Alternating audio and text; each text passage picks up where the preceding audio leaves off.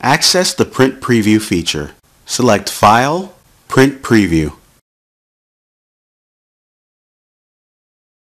Select Advanced. The IDAutomation Label software has the ability to print a current label or a range of labels.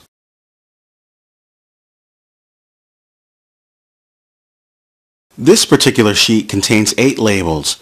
To print a range, add the desired values from label and to label.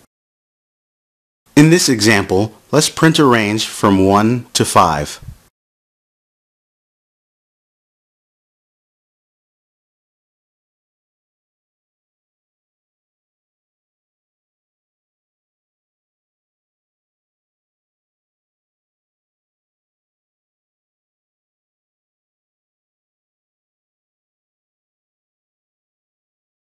Select all rows from the data source to print all the items in the row.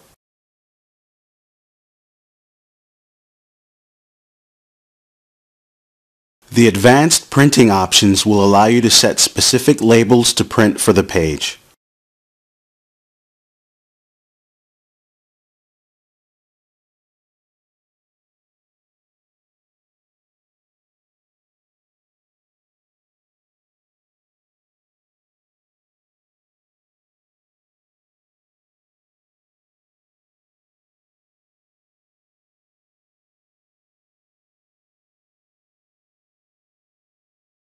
Ordering allows you to determine the order of each label from the first to the last.